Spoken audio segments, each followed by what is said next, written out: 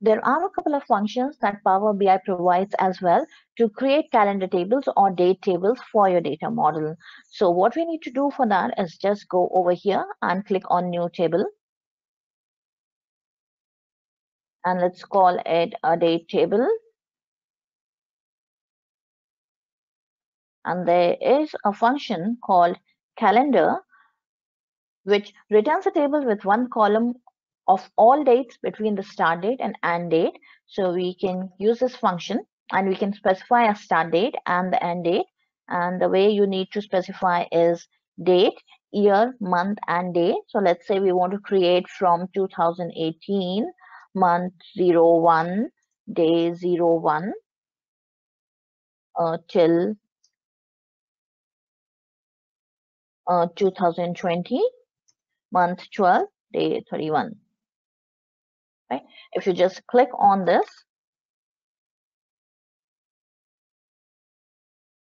you can see that a date table has been created as you can see from this side as well and you have continuous date values from 2018 1 1 till the end of the date that we specified over here so now there's sometimes requirements where you actually want to create a date table covering all the data ranges that you have in your data instead of specifying these constant values over here. So in that case, what can be done? So let's say we want to change the end date.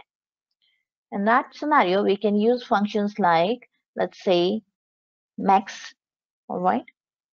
and you have to provide your table from which you want to pick up your date. So let's say I want to pick up my date from the FactResellerSales table and then you have to provide your expression. So my expression is going to be, let's say I want to pick it up based on the order date over here. All right, and let's change this to a little lower. 2010. And now let's create this table once again.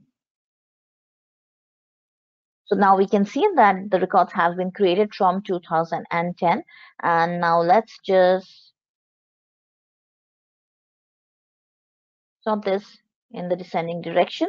And we can see that the maximum date in our table was 29 11 2013 so the entire range of dates has been created till 2013 29 11 2013 now there's another function that can be used instead of the calendar function so if we go back and use that function, start typing calendar, you will see that there's a function that is calendar auto. Now calendar auto returns a table with one column of dates calculated from the model automatically. So now the model automatically is going to use its IntelliSense and calculate the date. So let's just use calendar auto over here.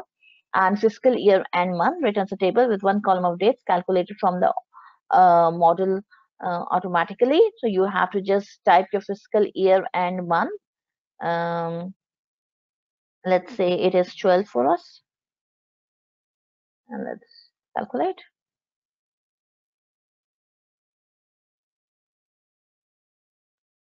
and you can now see that it has created 5844 rows the maximum being till the end of the current year that is 31 12 20 20 and if we sort it in the ascending order sorry you sort it in the ascending order you'll see that it has started the date creation from 1 1 2005 based on the data that we had in our data model. Let's change the fiscal and month to let's say it is 03 and now let's calculate. And you can now see that it has created data from 2004. Now it has started creating it from 2004, so it has created more tables. And if we sort this back into the descending direction, you can see that it has created the data till 31 3 to 2021 so the end of the current fiscal year right so you can use this function as well uh, to create automatic date tables in Power BI.